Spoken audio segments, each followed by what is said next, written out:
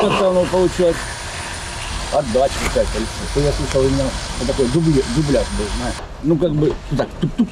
Раз, тук-тук, два, тук-тук, три. Второго, час 31 или 32, где-то вот так. Грамма лопнула. Забили, пока закрыли. А вот на четвертом этаже пострадало. И окно кухонное там открылось, и балкон.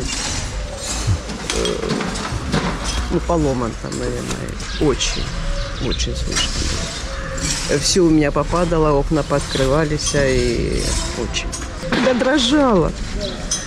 Убежала возле этого входной двери, легла и лежит, дрожит вся. Да, боялась. Ось так виглядають будинки біля місця удару. Майже в усіх квартирах повилітали від.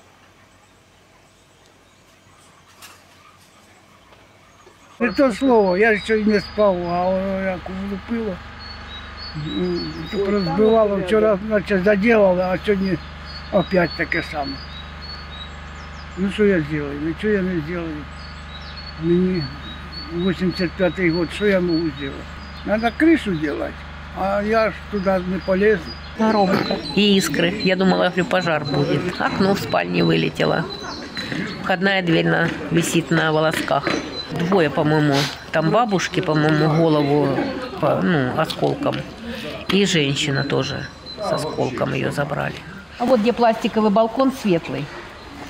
А мой рядом, а ее вот тоже рядом. Прятались, а куда деваться? А потом вышли, начали в подвал бежать. В результаті ракетних ударів по Мирнограду е, відбулось три ракетних влучання. Е, Пошкоджено навчальний заклад, е, Багатоквартирні будинки та поранено одну жінку. По місту Селидове е, ворог випустив е, керовану авіабомбу, яка поцілила також багатоповерхову забудову. Пошкоджено щонайменше 5 багатоквартирних будинків. Та в результаті даного обстрілу отримала поранення літня мешканка Селидове.